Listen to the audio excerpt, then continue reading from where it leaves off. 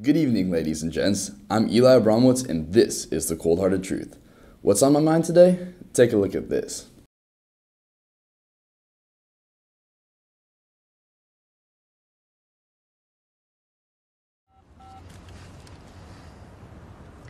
Wanna wrestle?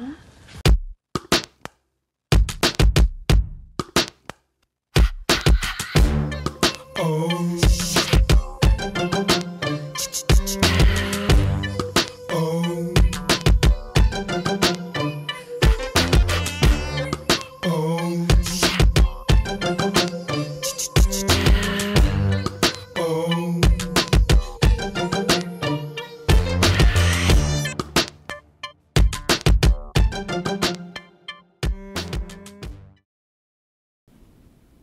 Man, those women sure are sexy, right?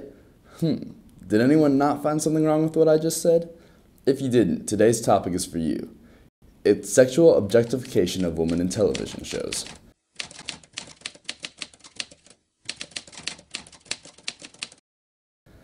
In her piece on sexual objectification, philosopher Laura Mulvey said, In a world ordered by sexual imbalance, pleasure in looking has been split between active male and passive female.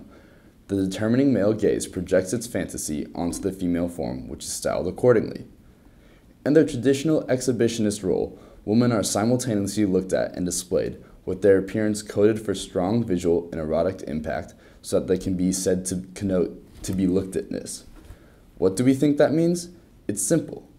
Women in television shows are too often used as props or better yet, objects to express sexual desire.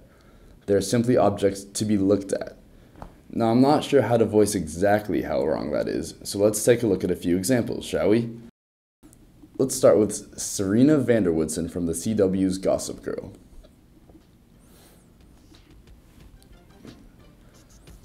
Now, Serena is seen as the perfect girl, isn't she? She gets the guy she wants, she's rich, she's stylish, she runs into some issues during the series, but she overcomes them.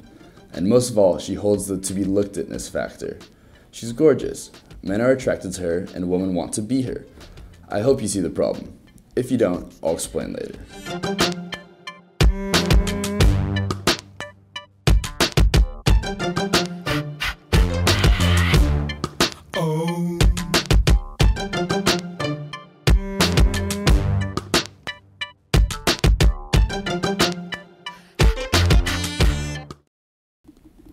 Next, we talk about Quinn James from the CW's One Tree Hill. Take a look at the next scene.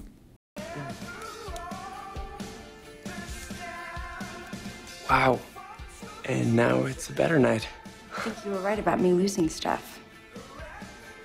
I seem to have uh, lost my clothes. Uh huh.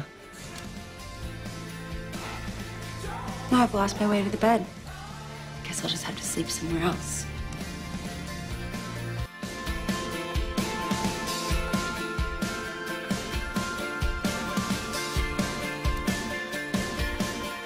She's good.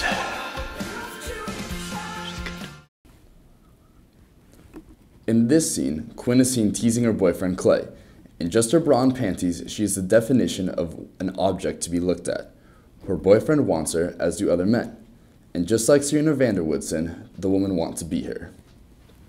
These examples bring about the biggest issue of women being seen as sexual objects in television shows. In Susan Douglas's piece, Girls Gone Anti-Feminist, we see that because of television shows and other mediums, women are potentially forced to be seen as sexual objects. If they do not accept that about themselves, then they are not the right woman for society. Women are shown that in order to be accepted, they have to look and act in the ways that Serena and Quinn do. These assumptions cause very serious outcomes, starting with depression and moving on to health issues like anorexia and bulimia in women. They strive to be the perfect woman when in reality they already are. So, what if you're not the skinniest, or you're not the prettiest, or you're not what society wants you to be? You're you and you're perfect. Women don't need to subject themselves to sexual objectification to be accepted. And that brings me to our theme. Don't let television shows define and depict what and who a woman should be.